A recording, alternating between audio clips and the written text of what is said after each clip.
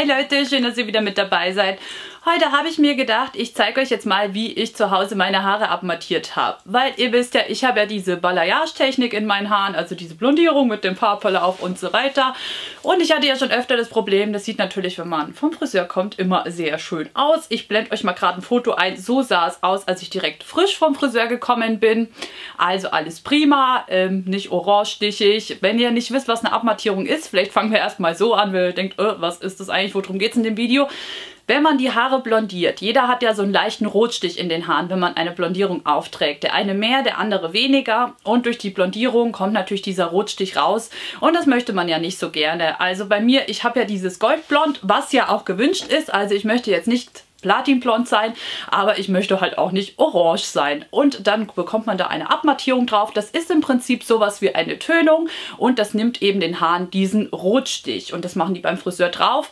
Problem ist halt nur so eine Abmattierung, weil es halt eben eine Tönung ist, hält nicht ewig und nach ein paar Wochen geht das Ganze halt dann doch nach und nach raus. Ich benutze ja immer dieses Silber-Shampoo, das hatte ich euch schon mal gezeigt. Das ist dieses von Lee Stafford, das ist in der Infobox verlinkt. Das ist aber nicht dazu da, um den Rotstich rauszunehmen, sondern einfach damit die Abmattierung länger hält und das ist quasi ne, so lila und neutralisiert diesen Rotstich in den Haaren. Aber ich hatte jetzt wieder das Problem, dass meine Haare doch mit der Zeit ein bisschen orange geworden sind, weil die Abmattierung einfach raus war.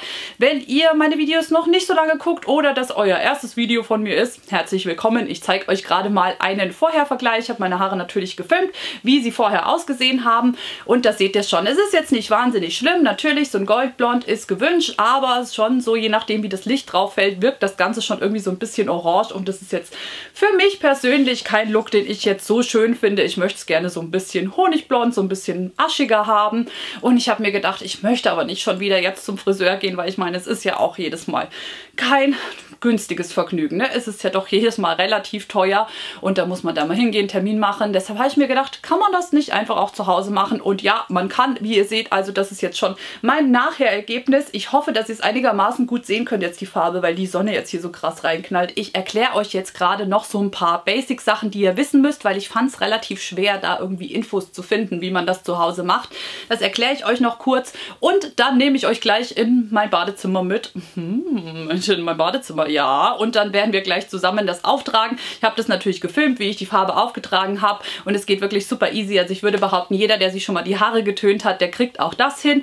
Und da bekommt er auf jeden Fall so diesen Gelbstich aus den Haaren. Zeige ich euch gleich. Ich zeige euch jetzt erstmal, was ich überhaupt dafür benutzt habe. Also ich habe mir gekauft von L'Oreal, das nennt sich Dialight oder Dialight, keine Ahnung, je nachdem wie ihr es ausspricht. Und das ist quasi diese Abmattierung. Ich habe das jetzt nur bei Amazon finden können. Das ist nicht so leicht, das in Deutschland irgendwie zu bekommen. Kostet 9 Euro oder glaube 8 Euro irgendwas. Und da gibt es verschiedene Varianten. Also das sind diese Milkshake-Farben, nennen die sich. Und da gibt es verschiedene Abmattierungen. Ich habe jetzt hier genommen die Farbe 9.0. Das ist Milkshake Platin. Das ist natürlich ne Platin Blond. Das wirkt auf jedem Haar anders. Was ganz wichtig ist, ich erkläre euch gleich, wie sich das verhält mit welcher Haarfarbe und so. Das alleine nützt euch aber nichts. Und das fand ich nämlich ein bisschen schwierig. Das war nämlich nicht so ganz klar, wo ich das bestellt habe bei Amazon. Das alleine, diese Tönung, nützt euch gar nichts. Denn ihr braucht dazu noch einen Entwickler, zeige ich euch mal. Das ist der hier. Das ist auch von L'Oreal, auch von Dialight, dieser Aktivator, der damit dazugehört. Das ist so eine Riesenflasche, die reicht halt ewig, die kostet 13 Euro, aber ihr seht, da ist kaum was raus. Also wenn ihr einmal den Aktivator habt, weil das Problem ist, diese Abmattierung nach drei Wochen ist es wieder raus, dann muss man das wieder neu machen. Das ist halt leider so bei Blondierungen, ne? Aber dann hat man den schon mal zu Hause und muss sich dann immer nur diese Farbcreme nachkaufen. Also die zwei gehören auf jeden Fall zusammen. Eins alleine davon funktioniert nicht. Das ist ganz wichtig. Ihr braucht den Aktivator, sonst klappt das Ganze nicht. Dann, was ich auch noch sehr sinnvoll finde, was ich mir noch bestellt habe, gibt es auch bei Amazon. Wie gesagt, ist alles in der Infobox verlinkt, ist hier so ein Farbschälchen. Das ist einfach ganz praktisch, ja, dass die Farbe nicht irgendwie so ein Plastikbecher angreift. Da kann man auch nicht alles dafür verwenden. Meine Müsli-Schüssel wollte ich dafür jetzt auch nicht unbedingt verwenden. Deshalb habe ich mir diese Schüssel hier gekauft. Kostet, glaube ich, irgendwie 4 Euro. Und so einen Farbpinsel, das ist auch ganz gut. Da kann man einfach das Ganze schön präzise damit auftragen, weil man muss schon genau arbeiten, dass man da nicht so Flecken drin kriegt. Das finde ich ist so die Basic-Ausstattung, die man auf jeden Fall braucht, damit man das Ganze nachmachen kann. Dann vorneweg, Leute, noch ganz wichtig, das muss ich glaube ich noch mit dazu sagen, nicht, dass das einigen unklar ist. Das Ganze ist keine Blondierung, es ist eine Abmattierung, also das heißt, wenn ihr jetzt dunkle Haare habt und denkt, ah, ich will jetzt aschblond sein, nein, das funktioniert nicht. Es funktioniert nur auf blondem Haar.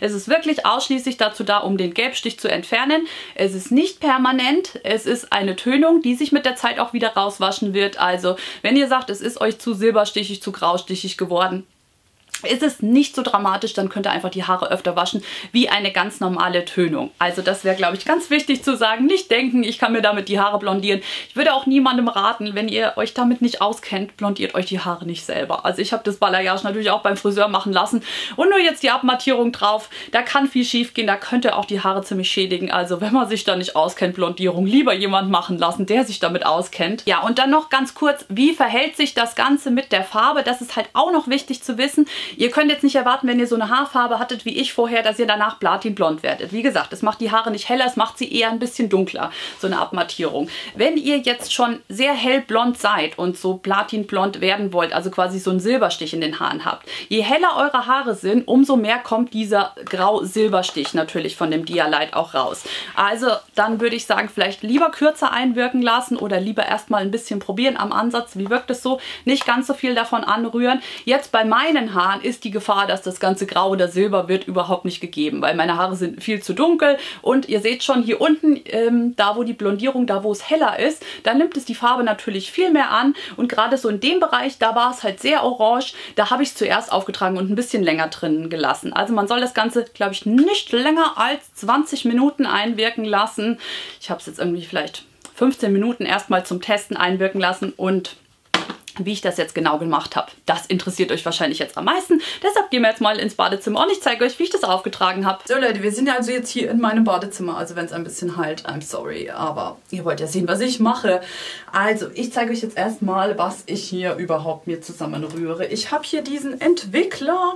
Also das ist eine Riesenflasche, die reicht auf jeden Fall für ein paar Mal. Die brauchen wir nicht alles. Und dann habe ich hier mein L'Oreal Dialight. Und ich sehe gerade, ich bin ein bisschen hell. Wartet mal, ich mache mal ein bisschen dunkler. Könnt ihr mich gut sehen? Ich hoffe. Und das müssen wir jetzt zusammenrühren. Und es ist natürlich ganz wichtig, dass wir das Mischungsverhältnis einhalten. Also man soll das im Verhältnis 1 zu 1,5 mischen. Also 1 zu 1,5 davon. Das sind jetzt hier 50 Milliliter, also ich nehme 50 Milliliter davon und dann, jetzt müssen wir rechnen, ne, was ich ja so gut kann, aber das ist nicht so schwer, also wir nehmen natürlich 75 Milliliter dann von dem und das rühren wir jetzt erstmal zusammen. So Leute, so sieht das Ganze jetzt aus. Ich hoffe, ihr könnt es sehen und jetzt werden wir das einfach mit dem Pinsel gut verrühren, das ist natürlich ganz wichtig. Und ihr müsst natürlich in der Nähe eine Uhr haben, das ist auch ganz wichtig, weil das soll natürlich auch nicht zu lang auf den Haaren drauf bleiben. Was ich jetzt mache, ich werde es mir nachher natürlich noch schön abteilen und das auch ordentlich ordentlich machen. Nur, ihr seht ja jetzt bei mir, gerade hier in diesem Übergang, da ist es halt schon so sehr goldblond und da möchte ich halt diese Aufhellung oder vielmehr diese Abmattierung äh, besonders gerne haben. Deshalb werde ich jetzt ein bisschen was davon einfach mal da auftragen und ähm, dass es da ein bisschen länger drin ist dass es da ein bisschen besser wirken kann. Und deshalb machen wir das jetzt einfach erstmal. Ich hoffe, ihr könnt es hier sehen, was ich mache, aber ich muss nebenbei ein bisschen in den Spiegel gucken und ich gebe das jetzt gerade mal hier da so auf diese Stellen schon mal so grob drauf. Sehr professionell, wie ich das mache. Jeder Friseur denkt sich jetzt so, ach du Scheiße, was macht die Alte da? Ja, sorry, ne? Also Leute, ich habe das jetzt hier oben schon mal aufgetragen, ihr seht. Und dann trage ich ja die Haare hier so ein bisschen zurück. Und trage mir das jetzt hier in den Längen einfach so auf. Mit dem kleinen Pinselchen. Einfach aufmalen. Und ich weiß auch nicht genau, wie viel man jetzt davon braucht. Also die meisten haben die halbe Packung genommen, was ich jetzt so da gesehen habe ähm, auf YouTube.